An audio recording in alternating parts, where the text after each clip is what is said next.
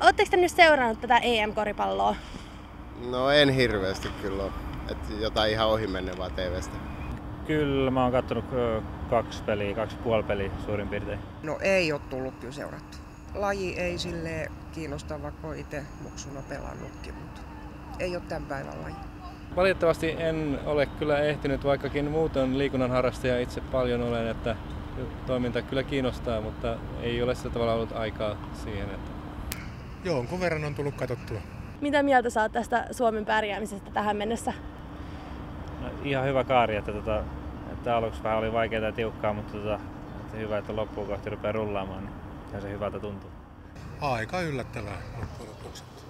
En olisi uskonut, että pääsevät näin pitkälle. Että siellä oli isot vastustajat ensimmäisenä vastassa, niin vaikka ne nyt sitten heviskin ne, mutta sitten tämä kolmas otteluhan meni sitten jo huomattavasti paremmin.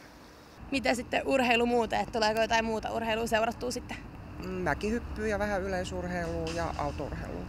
Jalkapallo, mestareiden liiga. Isot tapahtumat kiinnostaa aina, mutta ei sillä muuten yleisesti. Uskotko, että Lillestä tulee sitten viikonloppuna voitto?